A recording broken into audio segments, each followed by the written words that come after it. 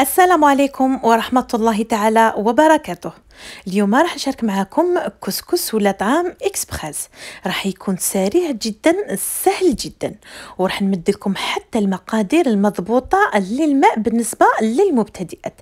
راح نرافقوا بالفول الأخضر وما راحش نفورو كذلك. راح نديرو في la cocotte يعني راح يطيب لي بسرعة البرق. ودرت معاه مرايب صنع منزلي إذا حبيتوا أكثر تفاصيل ما عليكم إلا تتبعوا الفيديو حتى النهاية.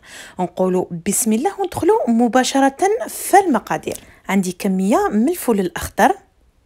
يعني هاد الفول حاولوا تخيروا نوعية جيدة. يعني كل ما كان طري كل ما راح تتحصلوا على نتيجة مليحة. يعني شوفوا الفول تاعي فقط نقسم الحبة على اثنان. يعني راح تتقطع عليه بكل سهولة. دلالة على أنه طري جدا. وبالنسبة لهاد الفول يعني درتو تحت الحنفية وغسلته عدة مرات كيما راه. يعني كاين البعض اللي يقطعوا الفول ولما يقطعوه بالكامل يعني يشلوه تحت الحنفية يعني هذا خطأ. وهاد الفول يعني ما راحش يطيب لهم بسهولة راح يقرنس كما حنا نقولوا لماذا؟ لأنه الفول يعني لما تفتحوه في الداخل هنا المبتدئات فقط راح نفتح لكم. يعني شوفوا كاينة كي شغل الصوف ولا مادة إسفنجية. إذا شللتوه لما تقطعوا الفول تاعكم راح يشرب لكم كامل هذاك الماء وما راحش يطيب لكم بسرعة. ولهذا من الأحسن يعني راح تاخذوه قرون كيما راه وشلوه عدة مرات حتى تنقوه بالكامل. وراح نشوفوا كذلك طريقة التقطيع مع بعض. يعني أنا درت فقط طريقة تاع الغسيل طريقة التقطيع للمبتدئات هكذا باش يقدروا يديروا هذه الأطباق التقليدية. يعني إذا كانت الحبة تاع الفول طرية وكنتوا في بداية الموسم وخيرتوا نوعية جيدة يعني هنا شوفوا راح نقطعوه بدون ما نحيلوا الأطراف. يعني هنا راه يتقطع وحده وحده هايلك يعني فقط بدون سكين راح يتقطع لكم. وإذا يعني طحتوا في حبة يعني تكون شوية عاصية فمن الضروري يعني نحيو كامل هذوك الأطراف لأنهم يعني يجوا خيوط خيوط وإذا طيبتوا هذاك الفول يعني بيه بهذوك الخيوط لما تاكلوا يعني راح تنحيوهم كامل من الفم تاعكم خيوط خيوط وراح يكون هذاك المنظر صراحة يعني غير مستحب. يعني حبيت نوري لكم طريقة الغسل تاع الفول لأنني شفت يعني الكثير يقطعوه. كما راكم تشوفون من بعد يشلوه يدخلوا الماء من الداخل ومن بعد يقرنس لهم وما يطيب لهمش تمتم. كذلك يعني شفت لي يقطعوا الفول بدون ما ينحولوا هاد الخيوط. يعني ينحولوا فقط الجزء العلوي والجزء السفلي ويقطعوه مباشرة. يعني هنا اللي يعرفوا يسمحوا لنا لكن ربما كاين مبتدئات راهم يشوفوا فينا ونتمنى يعني يتعلموا هذا الطبخ من البداية بطريقة صحيحة. أنا راح نكمل كل الكمية. يعني أنا كنت درت كميه من قبل وكما تشوفوا يعني درتها في لاكوكوت أنا اللي حب يديرها على البخار مباشرة لكم الاختيار. اللي حب هذا الفول يطيب بسرعة البرق يعني مرات نكونوا زربانين مرات هذاك الفول يعني يجي شوية عاصي.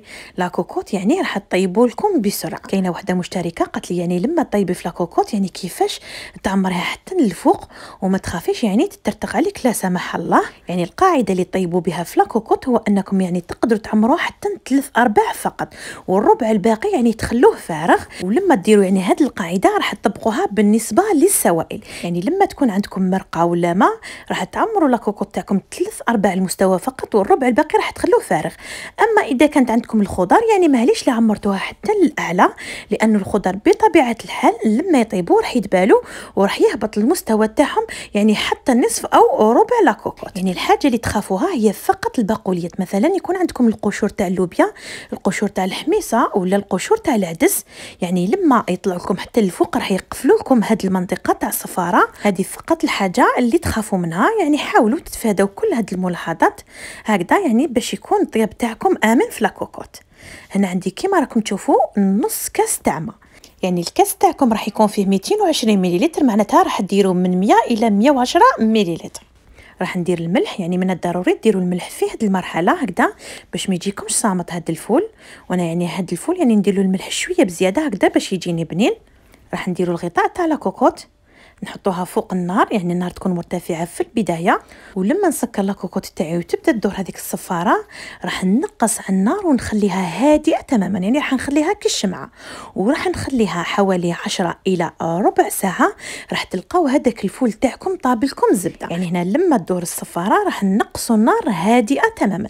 هكذا باش ما تنشفليش الكمية تاع الماء اللي درتها وما يتحرقليش هذاك الفول. راح نروحوا إلى طريقة تحضير الكسكسي. يعني أنا من الضروري تكون عندكم علبة عندها غطاء لأنه هذا الغطاء مهم جدا في نجاح العملية.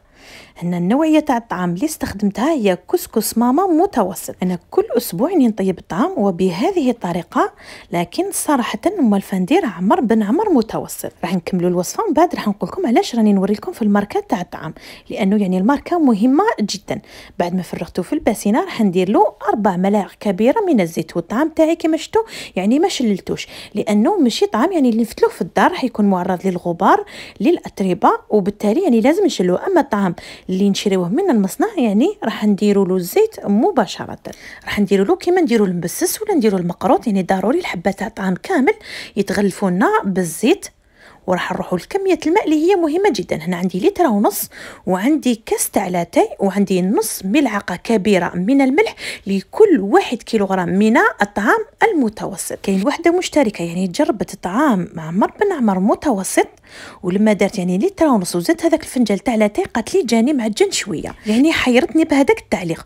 وأنا هذاك عمر بن عمر والف نطيبو كل جمعة ويجيني ما شاء الله. يعني رحت جبت طعام عمر بن عمر متوسط وجربت نفس الوصفة وبنفس المقادير وصراحة جاني معجن شوية. يعني ما على باليش الماركة تاع الطعام ولا الماركة تاع السميد اللي داروا بها هذاك الطعام ربما غيروها. ولهذا ما نجحت الوصفة. ولهذا يعني عاودت الفيديو وسيت طعام ماما متوسط وراح تشوفوا باللي النتيجة راح تكون ناجحة مئة بالمئة. وصدقوني يعني واش راني نوري لكم واش درت؟ ما زدت ما نقصت. أنا درت لتر ونص وزدت لها الكاس تاع لاتاي. يعني الكاس تاع لاتاي في ماركة ماما متوسط لازم تضيفوه. ديروا نص ملعقة كبيرة من الملح بالضبط وراح يجيكم الطعام تاعكم متوازن. إذا تحبوا الطعام تاعكم يجيكم شوية مسوس راح تنقصوا الملح. أنا راح نرفد هاد الكسرونة مباشرة إلى النار وراح نخليها تصل إلى درجة الغليان. هذاك الملح ما تخافوش راح يذوب لنا مع الحرارة. أنا لا كوكوت تاعي عندها حوالي ربع ساعة فوق النار على نار هادئة جدا. هنا بعد ما نخرج لها كل الهواء راح نفتحها وراح نوريكم دركا النتيجه مع بعض. يعني هذه الطريقة فعالة جدا وسريعة جدا خصوصا إذا كان الفول تاعكم يعني شوية عاصي. هنا شوفوا الكمية تاع الماء اللي زادت تشكلت لي لأنه الفول صراحة يعني من الخضار اللي يزيدوا يطلقوا الكمية تاع السائل. هنا واش ديروا؟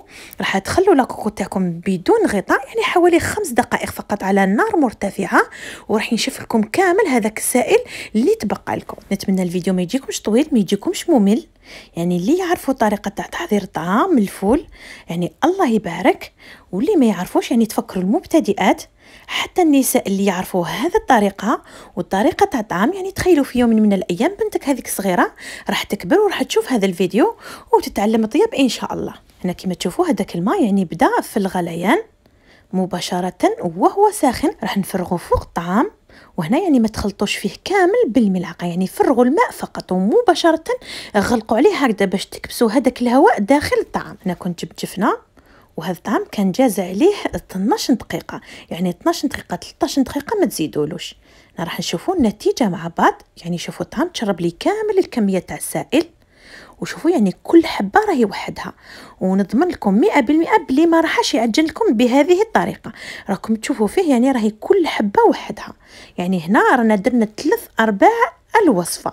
هنا الطعام راه جاهز فقط راح نديروه على البخار مرة واحدة نديروا له شوية زبدة وراح يكون جاهز. هاد العلبة راح تخلوها جانبا لما نكملوا كامل الكمية تاع الطعام ونديروا له الزبدة راح نديروه داخل هاد العلبة ونغطوه ونخلوه هكذا باش يبقى لنا سخون كاينة ملاحظه صغيره يعني الجهة السفلية اللي كان فيها طعام يعني ما راحش تتشرب بالسائل. هنا واش ديروا؟ راح تنحوا فقط هذاك الطعام. يعني اللي بقى لكم شوية شامخ هاني شوفوا كيفاش راني ندير. هنا ما تخافوهش. راح نحطوه جانبا. راح نحاول نفتح الكمية الأخرى تاع الطعام. يعني شوفوا هذوك الربع ملاعق كبيرة تاع الزيت اللي درناهم مهمين جدا وضروري ديروهم في الوصفة. هكذا باش الطعام تاعكم يجي كل حبة وحدها. هنا شوفوا يعني راهي تفتح لي بكل سهولة. راح نحاول نفتح كل الكمية. هاي ليك. يعني إذا ما قدرتوش ديروا بيديكم راح ديروه بالملعقة فقط. يعني الطعام لما يفور وديروه في الجفنة ما تخلوهش يبقى بزاف وإلا راح يبقى لكم كتلة واحدة. يعني إذا جاكم ساخن راح تخدموه بالملعقة. أنا بعد ما فتحت كامل الطعام تاعي راح نجيب هذيك الكمية اللي كانت في الأسفل تاع العلبة. يعني كما تشوفوا راهي شوية شامخة. راح نحاول نوزعها من الفوق كامل هكذا باش تتعرض للهواء وراح تنشف لي. أنا راح نخلي الكسكسي تاعي على هذه الحالة حوالي خمس دقائق هكذا باش ينشف لي مليح مليح. وكما تعرفوا الكسكسي يعني كل ما تخلوه ينشف في هذه المرحلة راح تتحصلوا على نتيجة أفضل. يعني هاي ليك نتيجة ما شاء الله وكأننا درناه على الطريقة التقليدية. يعني هذا الفيديو جا شوية طويل لأنني درت لكم الشرح ودرت لكم كل المراحل وبالتفصيل. لكن لما تطبقوا الوصفة يعني راح تديروا هذا الطعام في لمح البصر. هاي ليك يعني شوفوا الطعم تاعي راه كل حبة وحدها أنا واش ندير؟ راح نجيب الكسكاس تاعي يعني درت القدرة هنايا والماء راه وصل إلى درجة الغليان. راح ندير هنا نص الكمية فقط لأنه الكسكاس تاعي يعني متوسط. إذا كان الكسكاس تاعكم كبير راح ديروا كل الكمية دفعة واحدة. راح نديرو على البخار ومن بعد راح نزيدو نشوفو بقية الوصفة. بالنسبة لهذاك الفول سواء درتوه في la cocotte ولا درتوه على البخار يعني في الكسكاس يعني toujours الفول تاعكم لما تنحوه من الكسكاس حاولوا ديروه في مصفات يعني شوفوا الكمية تاع السائل اللي نزلت لي.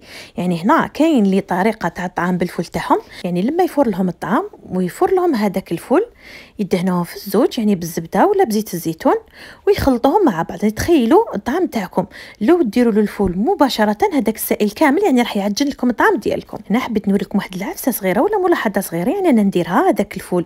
لما نخليه فوق النار يعني نخليه ينشف بالكامل حتى يتكرملوا لي الحبات تاع الفول اللي من الجهة السفلية. يعني راح يمد لكم ذوق رائع لكن ما تخلطوهش مع طعام هكذا باش ما يتحولكمش هذاك الطعام للون البني. يعني تحبوا ديروا هذه الطريقة تحبوا ما ديروهاش هاوليك. هنا لما نفوروا الطعام بالنسبة للمبتدئات النار لازم تكون قوية جدا. وبالنسبة للمبتدئات يعني هنا الطعام تاعي كيما راكم تشوفوا فار لي فقط على الأطراف ومازال في الوسط راح نقرب لكم الصورة. يعني هنا لما يفور لي بالكامل حتى يلحق هذاك البخار للوسط تاع الكسكس راح يكون جاهز. هنا مباشرة راح نجيبوه وراح نديروه في الجفنة. يعني هاوليك فار لي مليح مليح راح نقلبوه مباشرة. راح نجيبو زبدة ولا زيت الزيتون ولا أي حاجة. يعني تحبوا تدهنوا بها طعام تاعكم راح نخليها هنا فقط تذوب لي الزبدة قليلا ومباشرة وهو ساخن راح نفتحه بالملعقة ولما يبرد لي شوية راح نستخدم يدية. يعني هنا في هذه المرحلة ما راحش تخلوا الطعام تاعكم يطول وهو على هذه الحال. لأنه إذا خليتوه يبرد يعني راح يبقى لكم براكس براكس ولا كريات كريات. فمن الضروري تفتحوه وهو ساخن. يعني الطعام اللي نشروه ولا اللي يجي في الأكياس كامل تتعاملوا معاه بنفس الطريقة سواء درتوا هذه الطريقة تاع طعام إكسبريس ولا درتوا الطريقة التقليدية. الطعام لما نفتلوه في الدار يعني راح يكون سهل وما راحش يجونا كامل هذوك البراكس. وبالنسبة للطعام اللي نفتلوه في الدار إذا درتوا له نفس الطريقة راح ديروا له نفس الكمية تاع الماء اللي هي اللتر ونصف وكاس تاع لاتاي بشرط انه الطعام تاعكم يعني يكون متوسط ما يكونش رقيق بزاف. إذا الطعام تاعكم خرج لكم فيه بعض الكريات راح ديروا الطعام تاعكم على شكل قبة وبالتالي هذوك الكريات كامل راح يجوكم على الأطراف يعني راح ترفدوهم وهم ليك يعني ما تضغطوش عليهم يعني فقط راح تمسوهم وراح يتفتحوا لكم بكل سهولة. هنا أنا راح نزيد نكمل الكمية اللي بقات لي وراح نفتح كامل هذاك الطعام يعني الله غالب هذا هو الطعام المشري. كامل سواء درتو الطريقة التقليدية ولا هذه الطريقة يعني راح يخرجوا لكم البراكس لأنه الطعام يعني اللي نديروه بالماشينة ولا نشروه من الخارج يعني هنا ما راحش يكون كيما طعام اللي راح نوجدوه في المنزل. على بها يعني يخرجوا لنا هذوك البراكس. أنا راح نخليه جانبا وراح نزيد نكمل الكمية الأخرى وراح نتحصل في النهاية على هذه النتيجة.